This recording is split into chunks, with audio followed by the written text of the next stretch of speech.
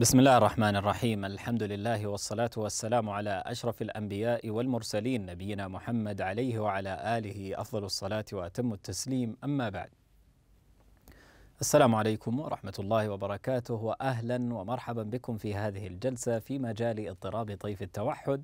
أسعد وأتشرف بتواجدي من خلالها معكم الأستاذ محمد بن أحمد الناصر للحديث بإذن الله تعالى عن بعض المهارات في مادة لغتي والتي نقوم بتقديمها لأبنائنا من ذوي اضطراب طيف التوحد. بإذن الله تعالى سيكون الحديث في هذه الجلسة متصل عما بدأ متصل متصلا بما بدأناه في الجلسة السابقة عن التعبير عن أنفس التعبير عن صورة يشاهدونها.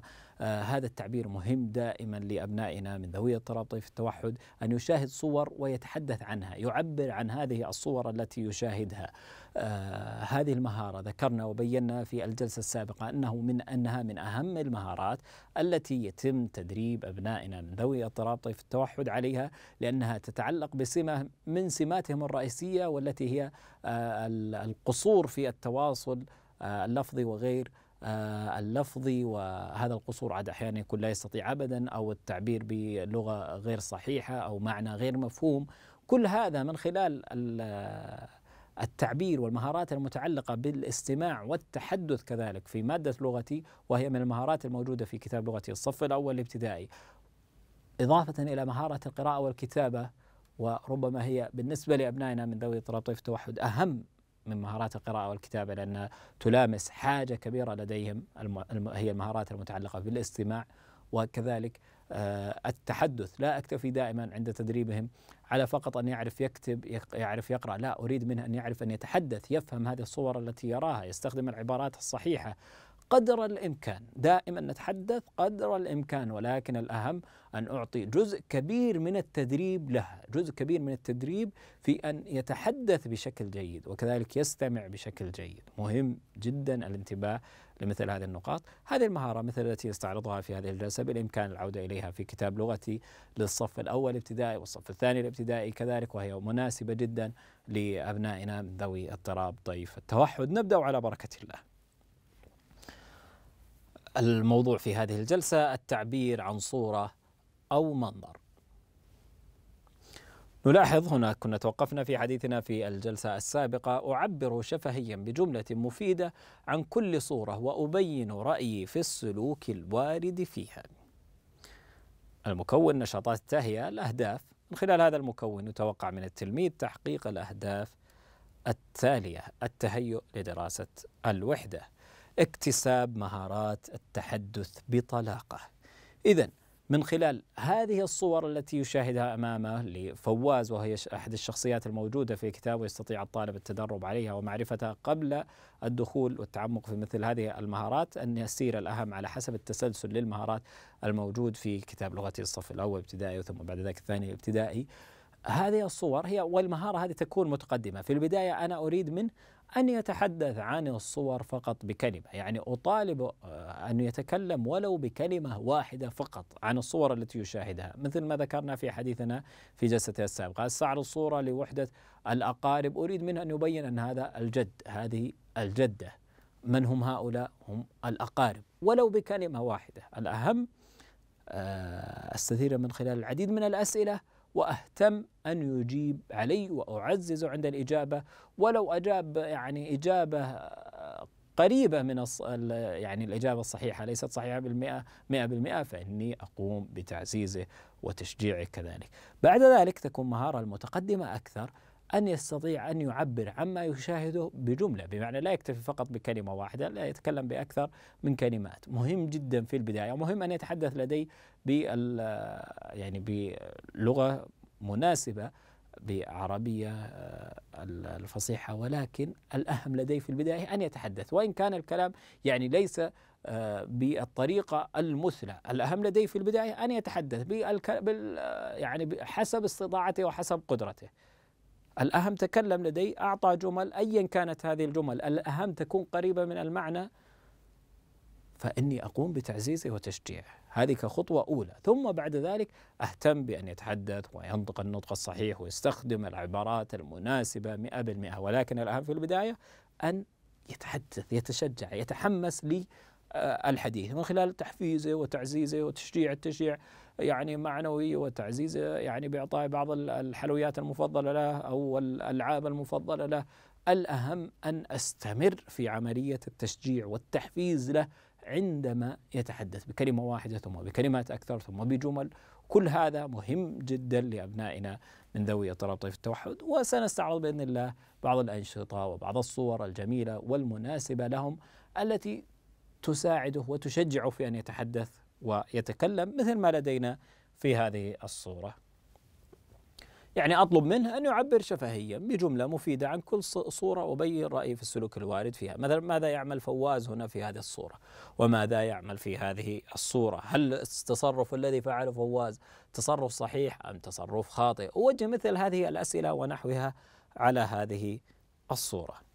اكتساب بعض القيم الإيجابية، أنا من خلال ما هو مشاهدته لهذه الصور هو يكتسب كذلك آه، قيم إيجابية، هو سيتحدث وكذلك سيشاهد هذه القيم والسلوكيات آه، الإيجابية الصحيحة التي سيكتسبها ويتعلمها. كذلك أحيانا ربما أستخدم بعض العبارات بعض الصور التي تكون لأشياء محببة لأبنائنا من ذوي اضطراب طيف التوحد ربما أستخدم أحيانا بعض الصور نلاحظ ألاحظ الصور وأعبر عنها بالعبارات آه، التي يستطيع كما ذكرنا دائما أشجعه ماذا تشاهد؟ أشاهد بعض الأطفال في في الألعاب مثلا آه، في حديقة الألعاب الترفيه أو مدينة الألعاب الترفيهية آه، يلعبون في بالبالونات هنا. وأقوم باستثارته وتوجيه بعض الأسئلة. بالتأكيد هذه الصور محببة له لأطفال يلعبون. وأحاول استخراج الإجابات الممكنة له. هنا مثلا بعض الألعاب لا يحتاج إليها. آه، يعبر بالطريقة المناسبة عن هذه الصور. قدر الإمكان يتحدث ربما في هذه الصورة يشاهدها يتحدث عن السماء الزرقاء والغيوم البيضاء ولا يتحدث عن الصورة الأساسية. لا بأس. الأهم أن أشجعه على أن يعبر على أن يعبر عن هذه الصور. ومن خلال هذه الصور دائما أستطيع جعله يتحمس ويتحدث أحيانا أشياء محببة له وكذلك مثل ما لدينا في الصورة السابقة يكتسب قيم سلوكيات إيجابية آه، تساعده في في حياته اليومية. الوسائل المقترحة لوحة مكبرة للنشاط بالإمكان كما ذكرنا استعراض هذه اللوحة المكبرة أو طباعتها عبر ورقة وجعلها أمام الطالب. إذا كان لدي طالب واحد فقط يتدرب على مثل هذه المهارة. استثارة حديث التلاميذ حول الصورة مثل قبل قليل واستنطاقهم من خلال طرح أسئلة من مثل ماذا تشاهد في الصورة الأولى وهي الصورة التي استعرضناها قبل قليل لفواز وهو آه، مثلا يساعد جدته؟ وهنا ماذا يفعل الولد؟ ما صلة القرابة التي تربط بين الولد والمرأة؟ نلاحظ كلها إشارة إلى الصورة التي استعرضناها قبل قليل وأن يعبر عنها شفهيا. وأن يتحدث بالجمل التي يستطيع. هو بعد ذلك يبين هي أمه أو هي جدته يستخدم العبارة المناسبة. الأهم أنا من خلالها نلاحظ من خلال النقاش هو مهارة النقاش مهمة. أن يعرف كيف يأخذ ويعطي مهارة مهمة للتحدث لأن يستمع ما الذي أقوله بشكل جيد ثم هو يرد علي ويتحدث بشكل جيد عن هذه الصور آه التي يشاهدها ويعبر عنها بالتعبير المناسب. هل تساعد جدك أو جدتك وتطيعهما؟ ثم لماذا كذلك؟ يعني هو من خلال الصورة عرف أن فواز يساعد جده وجدته ويطيعهما فهل هو يفعل هذا الشيء؟ وكذلك لماذا يقوم بمثل هذا الفعل؟ ما رأيك في هذا السلوك؟ ثم الانتقال إلى الصورة الثانية وهكذا بحيث يتوصل المعلم مع تلاميذه إلى تعزيز السلوكات الإيجابية من خلال التعبير عنها ووصفها بحرية. إذا نلاحظ وهي مهارة يعني أن يتحدث عن السلوك مهم جدا. أحيانا دائما نتحدث أنه إذا وجهت إليه سؤال يجيب عليك بنفس السؤال. يعني ما رأيك بتصرف فواز مع جده؟ آه، فواز مع جده سيجيب الطالب يعني. فمهم دائما تشجيعه من المراحل الأولى يعني من مراحل الطفل يعني من مراحل الأولى من عمر الطفل من الوالدين الأم والأب تشجيع النقاش والنقاش بطريقة صحيحة وأنه دائما يستجيب للتعليمات والأسئلة التي توجه إليه وأن يجيب عليها. لا أقوم دائما بمساعدته بالكلام تقديم هذه الخدمة لا لا أطلب منه أوجه له سؤال لا يجيب علي بنفس السؤال لا أحاول أن نجعله يفهم ويستوعب هذه النقاط التي أستعرضها معه. نلاحظ مثلا في هذه القصة مثلا كذلك أريد منه أن يعبر ويتحدث. ما الذي يشاهده في هذه الصورة مثلا يتشاجران؟ هل هذا التصرف صحيح أم خاطئ؟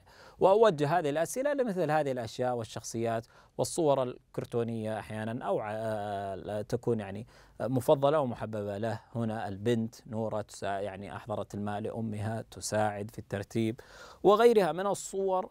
أطلب منه أن يعبر عنها ومن خلالها كذلك يكتسب قيما وسلوكيات آه، إيجابية. إلى هنا أكون وصلت إلى نهاية حديثي في هذه الجلسة. شكرا لكم على طيب المشاهدة. ألقاكم في جلسات قادمة إن شاء الله تعالى. حتى ذلكم الحين أستودعكم الله الذي لا تضيع ودائعه. والسلام عليكم ورحمة الله وبركاته.